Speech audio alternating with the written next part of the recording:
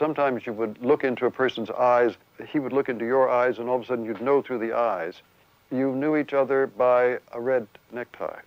It was very daring to wear a, a, a hanky that matched the tie. And the moment that you saw that, no matter what the color was, you figured that you had, there was a brother there. After you had cruised each other by chasing each other back and forth from looking in the same window at the same thing for quite a while, you might ask the person, do you have a match, or can you tell me the time? These were the little things that we would be using in the 20s, and we were still using them in the 30s, I might add.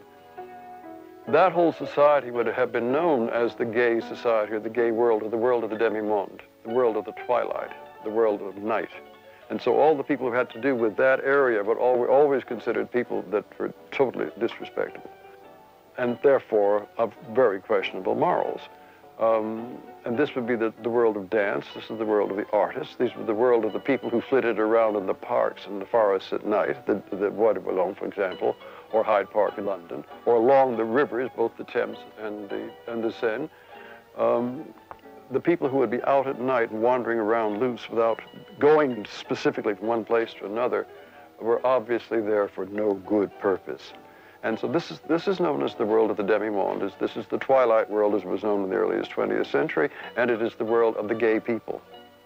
And the gay, therefore, covers all of these people. It covers prostitutes, covers ladies of doubtful virtue, gentlemen of doubtful virtue, all those unsavory characters.